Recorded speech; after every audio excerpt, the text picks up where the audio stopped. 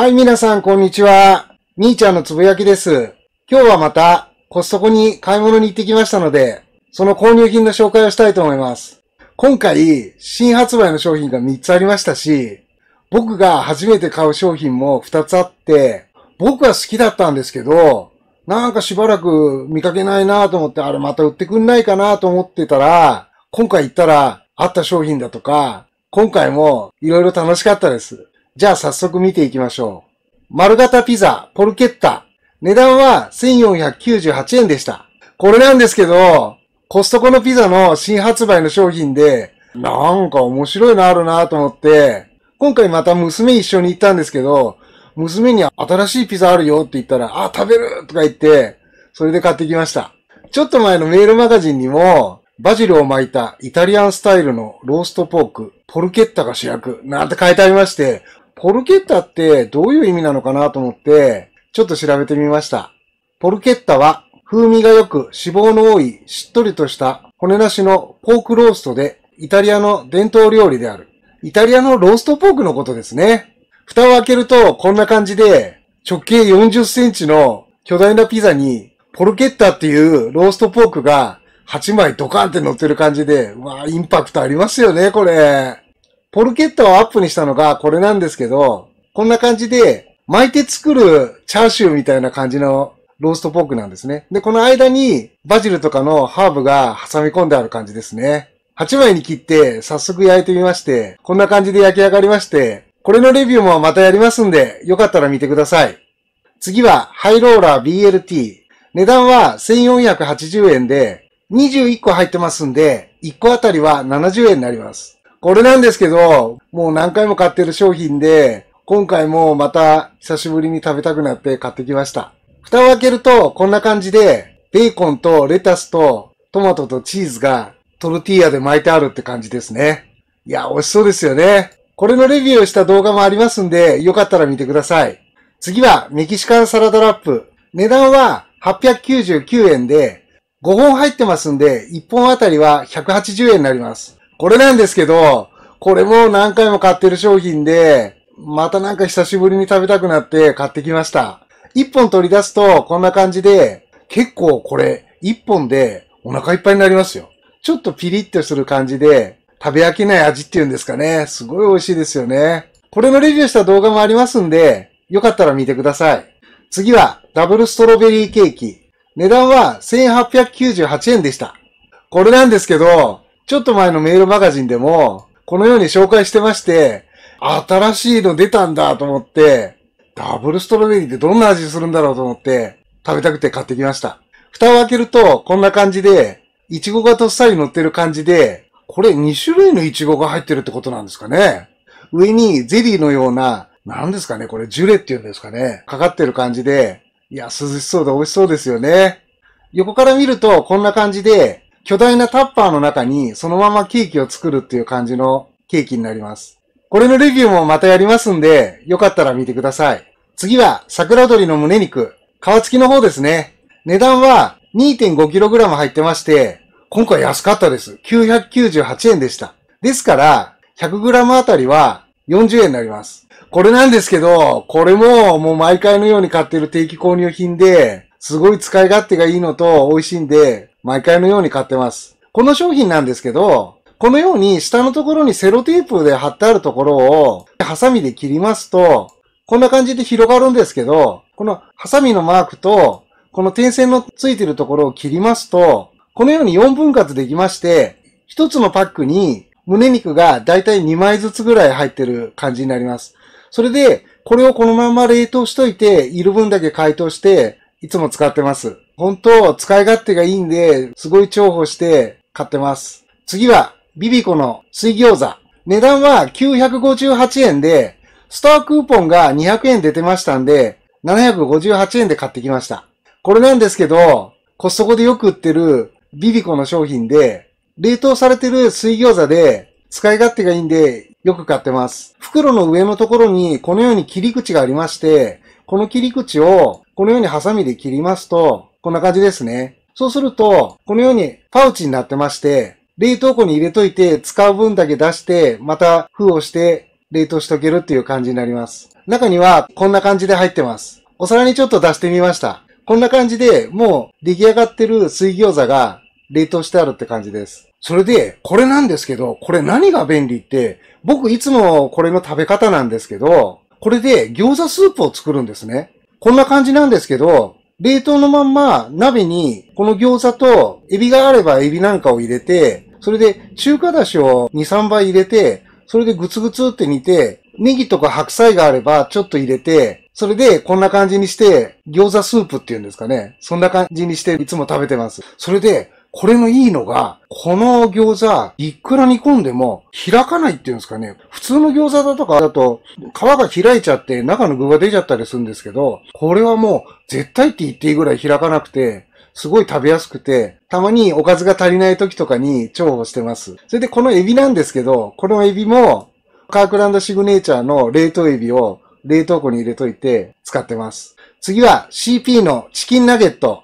値段は718円で、1キロ入ってますんで、100グラムあたりは72円になります。これなんですけど、前回、この同じメーカーの CP の若鶏の竜田揚げっていうのをもう2回連続で買ったんですけど、これがすごい美味しくて、もうそうだったら同じメーカーなんで、このチキンナゲットも美味しいんじゃないかなと思って買ってきました。袋の裏にはこのように中が見えるような袋になってます。袋の裏にこのように油で揚げるとか、オーブンで焼くとか、調理法が書いてありますけど、これ、電子レンジでちょっと温めれば食べれますんで、僕はいつもそうやって食べてます。これもちょっと風の説明をします。このように切りかきの部分をハサミで切りまして、こんな感じですね。そうすると、こんな感じで、これもパウチになってまして、いる分だけ使って、また封をして冷凍しておけるっていう感じになります。中はこんな感じで、調理済みのチキンナゲットが1キロ入ってるっていう感じになります。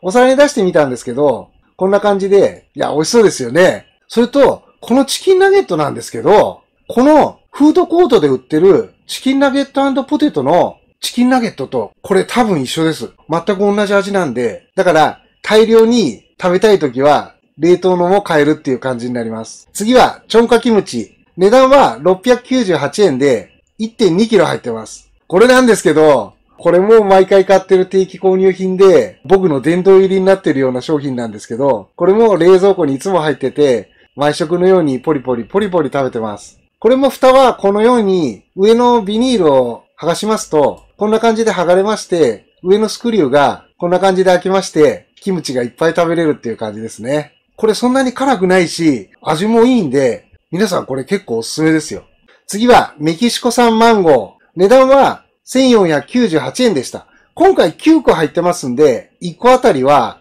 166円になります。これなんですけど、前回買ったんですけど、前回美味しかったんで、今回も売ってたんで、また買ってきてしまいました。今回もメキシコ産で、ケント種っていう種類になります。前回買って美味しかったんで、もう間違いないですね。今回は9個なんですね。それで、前回が10個なんですね。ですから皆さんこれ、同じやつなんですけど、このように、10個だったり、ちょっと大きめのが9個だったりしますんで、お好みに合わせて買えるっていう感じになります。こんな感じで自分でも簡単に切れるようになりましたんで、また買ってきました。このマンゴーの切り方は、購入品紹介の8月の1回目の方に紹介してますんで、よかったらそちらも見てください。次は、オイコスのストロベリーヨーグルト。値段は1048円で、12個入ってますんで、1個あたりは87円になります。これなんですけど、毎回買ってる定期購入品で、こんな感じで、タンパク質が豊富で、脂肪がゼロだったりだとか、何より結構味美味しいんですよね、これ。だから、毎回買ってます。次は、吉田のバーベキューソースです。値段は658円でした。これなんですけど、これ以前にも買ったことあったんですけど、これ人気がないみたいで、売ってなかったんですけど、あ、また置いてあると思って、今回久しぶりに見かけて買ってきました。このソースなんですけど、皆さん吉田のソースっていうと、こちらの照り焼き味っていうんですかね。醤油ベースのソースがコストコでも有名で、よく売ってて皆さんよく買われてるんですけど、僕が今回買ってきたのは、トマトベースなんですね、これ。味なんですけど、甘酸っぱい感じの濃厚なソースで、ちょっとフルーツの味の感じもするトマトベースの濃厚なバーベキューソースっていう感じです。それで、これを何に使うかと言いますと、こんな感じで豚のスペアリブに塗ってオーブンで焼くとすごい美味しいんですよ。後ろの付け合わせもこの吉田のバーベキューソースなんですけど、それで味なんですけど、味はマクドナルドのチキンナゲットを買うと選べるバーベキューソースありますよね。あのバーベキューソースに味似てます。すごい甘酸っぱい感じで美味しいんですけど、それで僕これ買うようになってから、このようにスペアリブ焼くときにはもちろん使うんですけど、それ以外にも、例えば肉なんか焼いて、付け合わせの野菜とか塩胡椒で味付けした時に、そのまま食べるんですけど、なんかちょっと味足りないなっていう時に、バーベキューソース横に添えて、つけて食べたりすると、それだけで十分美味しいんで、味が好きなんで、いつも買ってます。これを塗って肉を焼くと、アメリカンなバーベキューっていう感じの甘酸っぱい感じの味付けになって、結構僕は好きで買ってます。それで皆さんこれ、吉田のグルメソースもそうなんですけど、ちょっと蓋の開け方にコツがありまして、それをちょっと説明します。こんな感じで上のビニールを取りますと、このように開くんですね。それで紙の封がしてあるんですけど、この紙の封の破り方ちょっと見ててくださいね。こんな感じでちょっと破りまして、このちょっと破った分だけハサミで切るんですね。こんな感じでハサミで切りまして、それでまたスクリューキャップして保存しとくんです。なんでこういう風な揚げ方するかっていうと、これ口が大きいんで、ソースをちょっとかけた時に、全部紙の蓋切っちゃうと、ドバドバって出すぎちゃうんですね。で、これぐらいにしとくと、ちょろちょろって少しずつ出るんで、量の調節がしやすいんで、こんな感じで僕は蓋開けて使ってます。皆さんもよかったらやってみてください。次はディナーロール。値段は458円で36個入ってますんで、1個あたりは13円になります。これなんですけど、もうこれも毎回買ってる定期購入品で、美味しいロールパンという感じで、もう本当に食べ飽きない美味しいパンです。次は、ラズベリーチーズデニッシュ。値段は1180円で、20個入ってますんで、1個あたりは59円になります。これなんですけど、ちょっと前に出た新発売の商品で、コメント欄で、大岡さんって方におすすめいただきまして、それで買ってきました。蓋を開けると、こんな感じで、ラズベリーとチーズの2種類のデニッシュが、上2列がラズベリーですね。で、下の2列がチーズのデニッシュです。こんな感じで入ってます。1個ずつ出してみました。左がチーズのデニッシュで、右がラズベリーのデニッシュになります。ラズベリーの方は、ナッツとかが上に載ってある感じで、中にラズベリーのジャムが入ってる感じになります。チーズの方はこんな感じで、上にもチーズがかかってる感じですね。ラズベリーを半分に切ってみたのがこんな感じなんですけど、中にラズベリーのジャムが入ってる感じになります。チーズの方は中は空洞で、中の生地にもチーズが練り込まれてる感じでした。それで味の方なんですけど、こんな感じで20個入ってるんですけど、その日のうちになくなりました。すごい美味しかったです。このラズベリーの方はナッツが風味がすごい良くて、香ばしくて、それでちょっと甘酸っぱい感じのラズベリーのジャムがもう食欲をそそる感じで、二口ぐらいで食べれるサイズなんで、パクパクってもう、あ、美味しいなーつってすぐ食べちゃいました。それで、チーズの方なんですけど、チーズの方は、またこれ、香ばしい、ちょっと塩気のある、サクサクのデニッシュで、美味しくて、ペロッと食べちゃいました。一個一個が小さいんで、ついついパクパク、パクパクって食べちゃうんで、もうほんと、すぐなくなっちゃいました。皆さんこれ結構サクサクで香ばしくて美味しいんで2種類味入ってますし、なかなかおすすめです。次はカークランドシグネーチャーのオーガニックトルティーヤチップスです。値段は1つあたり698円でした。これなんですけど、僕の主食主食って毎回のように言ってる商品なんですけど、実は2ヶ月ぐらい見当たらなかったんですよ。5月の末に買ったっきり、やっと今回見つけて、ああ、やっとあったと思って、思わず2個買っておきました。こんな感じで1.13キロ入ってるんですね。僕がいつもやってる保存方法をちょっとだけ紹介します。こんな感じで、袋の上の方をハサミでこのように切りまして、半分ぐらいこうやって切るんですね。ちょっとボケちゃっててすいません。それで、このように手が入るぐらいの大きさに切りまして、こんな感じで出してみました。もう今回久しぶりだったんで、その場でパクパクって詰めましたけど、2ヶ月食べてなかったんですけど、いや、なんかほんと懐かしい味がしました。味は、癖のないトウモロコシの風味の強い塩味のトルティーヤチップスで、食べ飽きない味で、オーガニックだっていうのとか、量が多いのとか、安いのとか、いろんな理由で買ってるんですけど、もう本当に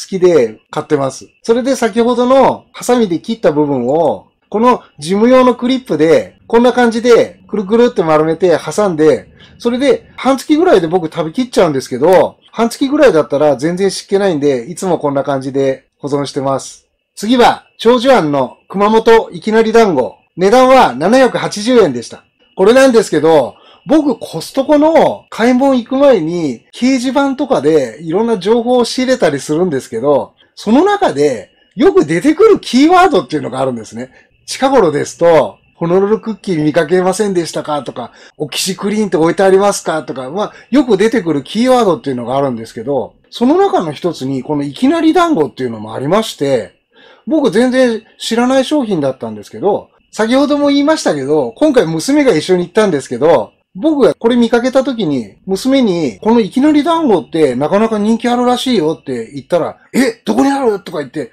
言うんですよ。えと思って、ここここって言ったら、ああ、これ大好きなんだわとか言って言うんですよ。えー、知ってんだって言って、なんで知ってんのって言ったら、熊本に出張に行った時に、サービスエリアがだったか道の駅かなんかで買ってすごい美味しかったって言ってたんですよ。それで知ってんだって言って、もう買う買うって言って、僕は知らないんですけど、娘は知ってて、教えてあげたらすぐ買ってました。上の風をこのように切りますと、こんな感じで、あ、やって読めるようになりましたね。長寿庵の熊本いきなり団子。それで、ちょっといきなり団子っていうのを調べてみたんですけど、いきなり団子は熊本県の郷土料理、郷土菓子である。熊本ではいきなりダゴとも呼ばれる。こんな感じのさつまいもとあんが入ったお団子っていう感じなんですね。それで、長寿庵のホームページも見てみたんですけど、やっぱこういう感じなんですね。ほっとする昔ながらのふるさとのおやつなんて書いてありますね。そんなのがコストコで買えるんですね。お皿に出してみたんですけど、全部で6個入ってまして、2個ずつ3種類のいきなり団子が入ってました。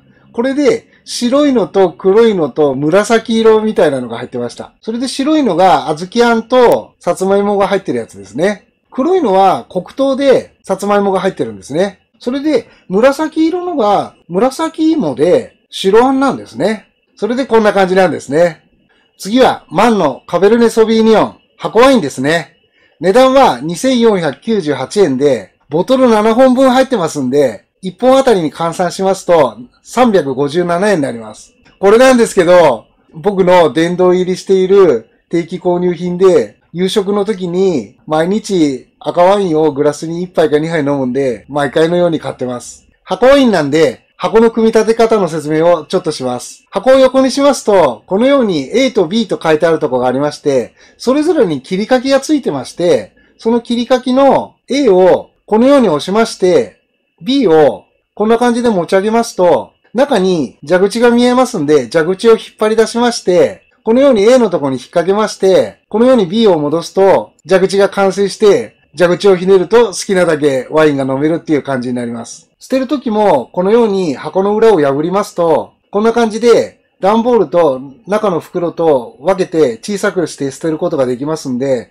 そういう面でも重宝してます。次は、カークランドシグネーチャーのプロセッコ、スパークリングワインですね。値段は648円でした。これなんですけど、これもなんか、定期購入品になりつつある商品で、安くて美味しいスパークリングワインで、冷蔵庫に1本入れといてたまーに飲みたくなるんで、また買ってきました。こんな感じで、イタリア産のスパークリングワインなんですけど、味の方は辛口の炭酸が強めのスパークリングワインっていう感じで、どんな料理にも合うような感じで美味しいです。次は、カークランドシグネーチャーのスパークリングスプリングウォーターです。値段は1368円で、40本入ってますんで、1本あたりは34円になります。これなんですけど、これも切れる前に買ってる定期購入品で、癖のない炭酸水で美味しいんで買ってます。横から見るとこんな感じで、袋と持ち手を兼ね備えたようなうまい作りになってます。一本取り出すとこんな感じで、捨てる時もこのように小さくなって捨てれるんで、そういう面でも重宝してます。次は、ロクサーヌ、ミネラルウォーターです。値段は838円で、35本入ってますんで、1本あたりは24円になります。これなんですけど、これも切れる前に買ってる定期購入品で、癖のないミネラルウォーターで、安いのと、美味しいんで、水はこれを飲んでます。今回炭酸とこれとダブっちゃったんで、娘がいてよかったです。もう一人だったらどうしようって感じでした。これも横から見るとこんな感じで、包装と持ち手と兼ねてるような感じになってます。一本取り出すとこんな感じで、捨てるときもこのように小さく捨てれるんで重宝してます。今回は20点で21,317円でした。今回新商品も3つ買いましたし、初めて買う商品も2つあって、久々に出会えた商品だとか、オーガニックトルティアチップスもまたなんとか買えたんで、今回も楽しかったです。また順番にレビューしていきますんで、よかったら見てください。チャンネル登録、いいねとよろしくお願いします。今日はこれで失礼します。ありがとうございました。